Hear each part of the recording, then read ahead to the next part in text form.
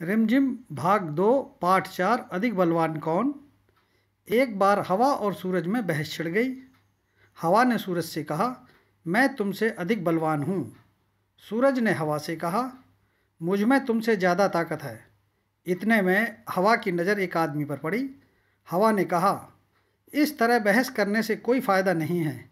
जो आज इस आदमी का कोट उतरवा दे, वही ज़्यादा बलवान है। सूरज हवा की बात मान गया। उसने कहा, ठीक है, दिखाओ अपनी ताकत। हवा ने अपनी ताकत दिखानी शुरू की। आदमी की टोपी उड़ गई, पर कोट उसने अपने दोनों हाथों से शरीर से लपेटे रखा और जल्दी जल्दी कोट के बटन बंद कर लिए। हवा और ज़ोर से चलने लगी। अंत में आदमी नीचे ही गिर पड़ा, पर कोट उसके शरीर पर ही रहा। अब हवा थक गई थी। सूरज ने कहा, हवा, अब तुम मेरी ताकत देखो। सूरज तपने लगा। आदमी ने कोट के बटन खोल दिए। सूरज की गर्मी और बढ़ी। आदमी ने कोट उतार दिया और उसे हाथ में लेकर चलने लगा।